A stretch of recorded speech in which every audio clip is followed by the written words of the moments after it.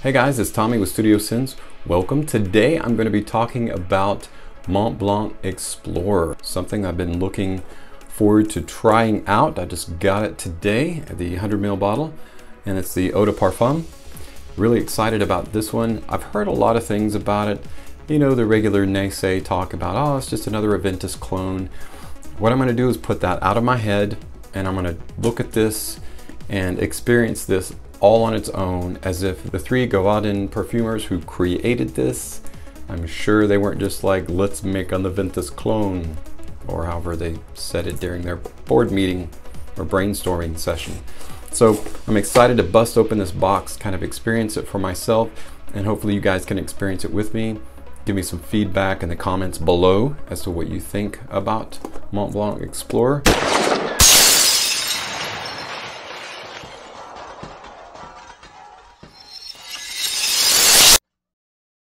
First though, I thought it would be kind of fun to watch the commercial spot. So let's check out the whiteboard and watch the commercial. So let's try that out now.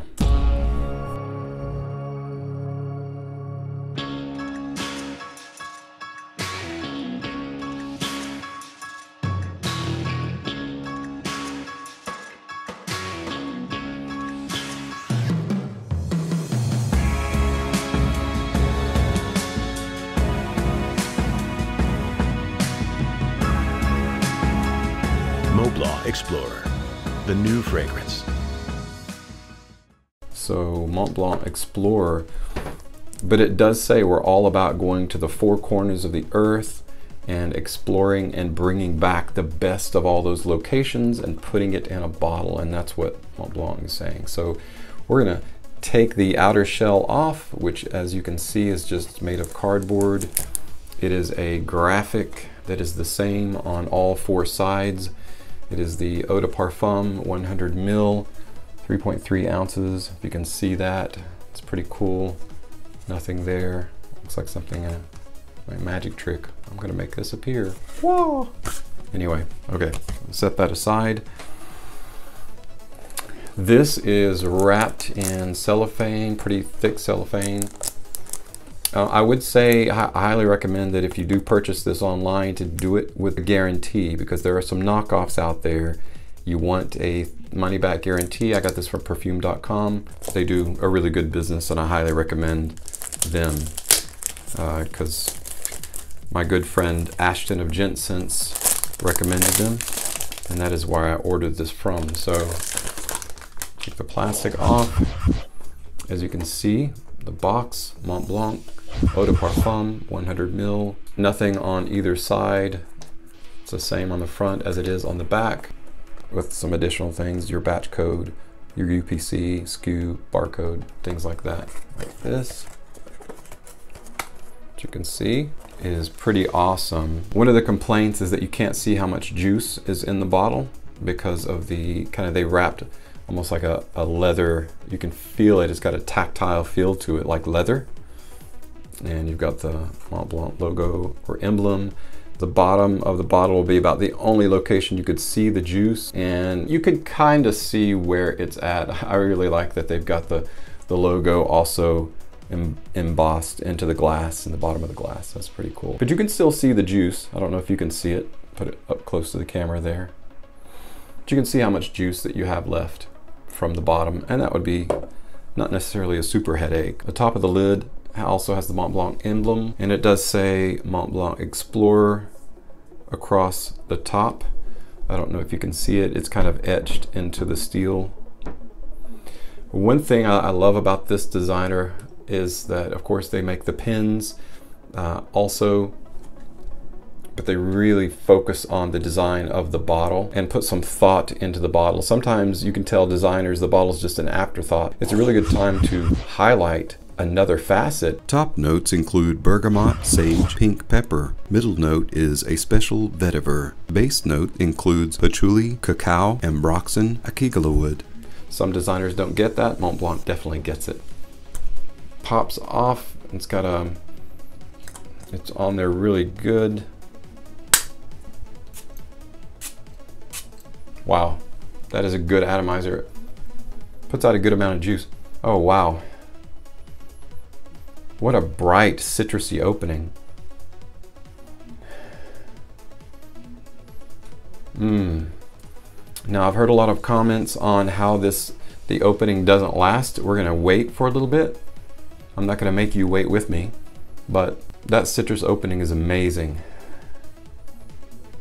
You can definitely you definitely have the the bergamot.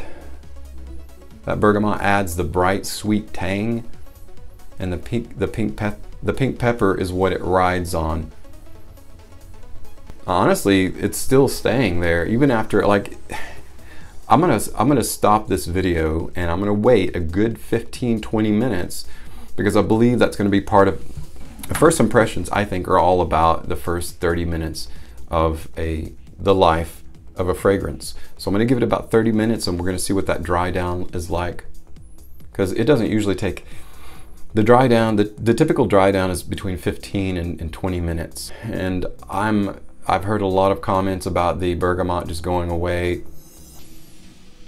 and all you're left with is kind of like this uh, aroma bomb, aroma chemical bomb. There is a slight synthetic smell, but it's not the, it's not the, um, the kind that is off-putting, right? And not to compare Explorer with Office for Men by Fragrance One, because I, I do like Office for Men, but from the get-go, like right out of the bottle, it's just like a whoo, wow, that is very chemical. That is very, it is an aroma chemical bomb at first. And you give it a few minutes and then it starts breathing life into itself and it starts undressing those layers a little bit better. But right out of this bottle, the bergamot is in like begging you to shake hands with, with the other players and the other ingredients in, in Explorer. I'm gonna come back and tell you. All right, guys, I am back, and it has been actually a little bit longer than 20 minutes. I got tied up, but that's probably a good thing. Uh, the bergamot has dried off, and now it's opening up to a little bit. I think it's starting to undress and um, envelop the the layers and the complications within those fragrances. I can definitely smell the sage, the patchouli, and vetiver. Have you ever played musical chairs? fragrance almost plays musical chairs with your nose. Because at times, everybody's up, going around when the music's going, right? And you can smell everything. When the music's playing and nobody's sitting down, you can smell all the layers and you're like, okay, I smell everything. And then suddenly the music stops and only one person is left standing. It's almost like that with fragrance. At certain times, you can tell everybody's taking a back seat and there's only one thing that's coming to the fore. Like I get the ambroxan that's coming to the fore because it's heavy, it's laden with it, and it's in the base.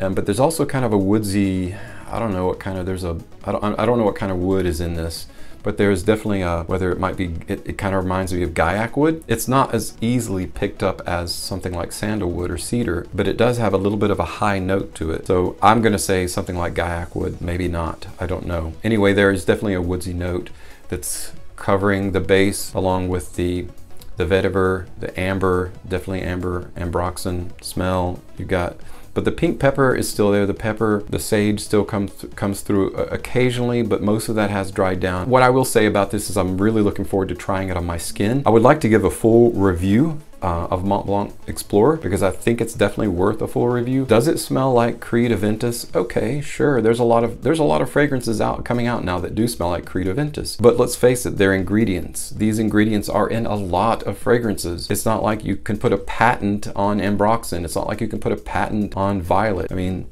this doesn't have a violet note in it. It has kind of a violet sensation, but definitely not a violet note. It's probably somewhere along the lines of the sage and the vetiver working together, but you can't patent ingredients, so it's okay if a fragrance smells like another fragrance. This is definitely not a clone. People are using that terminology. Oh, it's just another clone of Aventus. Okay, I don't think that the three perfumers that, that put this together had in mind creating an Aventus clone.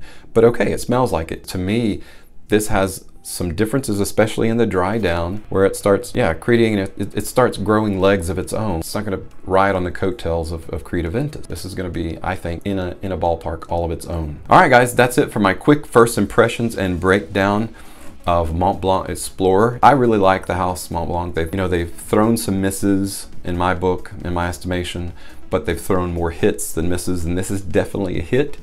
If it isn't now, I think it's definitely going to be. Now, this was released in February of this year. So it's had time to kind of grow legs and, and gain its sea legs, as it were, its feet.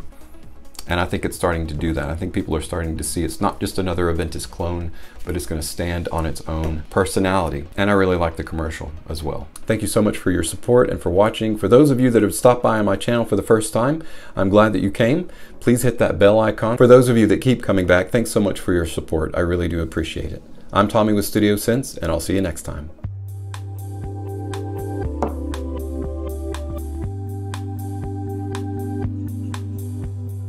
Presentation is is you know everyone's all about presentation right? It's half about how you look just as it is about how you smell